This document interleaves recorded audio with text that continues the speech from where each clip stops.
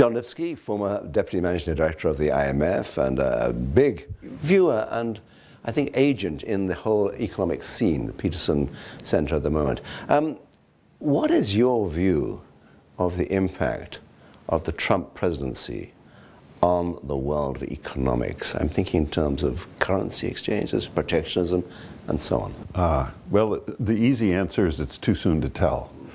First of all, it, for one thing, uh, I'm not, sure everybody recognizes the current U U.S. economic expansion is currently the third longest in U.S. history. And consent, if consensus views are close to right, that there's not going to be a recession in the near term, for sure it is going to be at least the second longest expansion in U.S. history. So the, despite the grumbles about relatively slow growth, about falling labor force participation, about slow wage growth, about inequality, uh, the economy continues to move ahead. The unemployment rate is the lowest now since the 90s and could go lower. The uh, asset values, the stock market at record highs.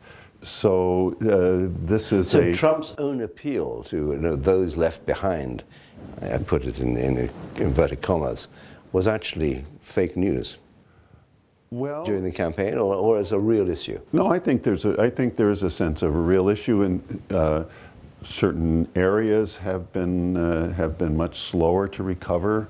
Uh, manufacturing jobs are now recovering, but they're far below where they were.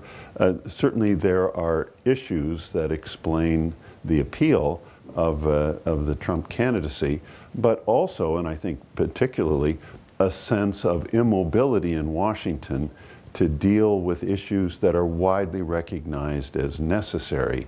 Uh, for one, tax reform. There has been for decades a consensus that tax reform is needed.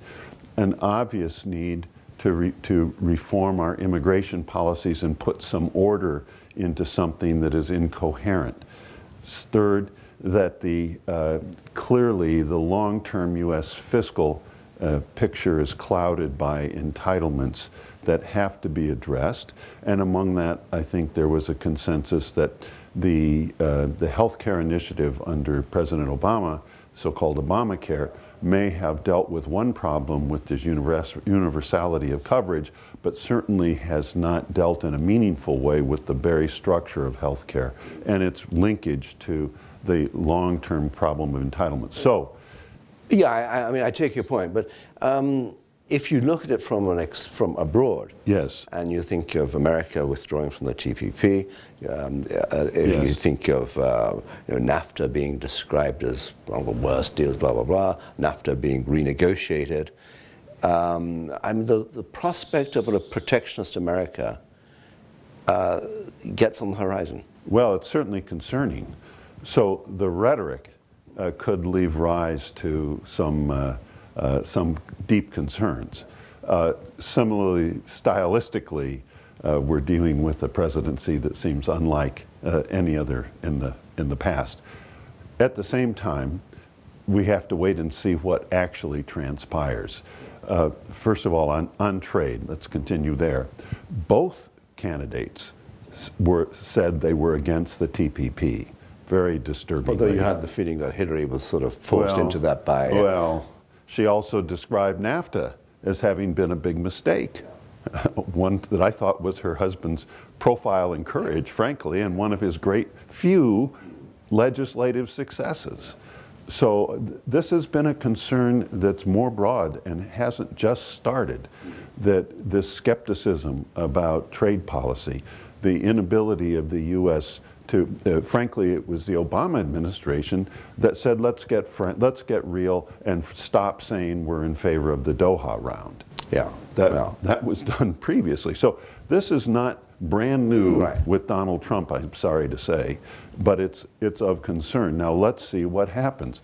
My guess is as NAFTA gets real, as these negotiations gets real, I would be shocked if we don't see a very strong response on the part of the business community to say, hey, wait a minute, all this blah, blah, blah is just well and good, but what's when you're coming down to facts, let's face it, NAFTA, there's great interest in preserving NAFTA.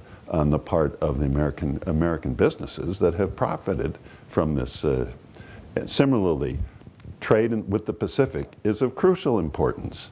So it's one thing to back away from TPP, but and threaten the Korean uh, free trade and threaten the.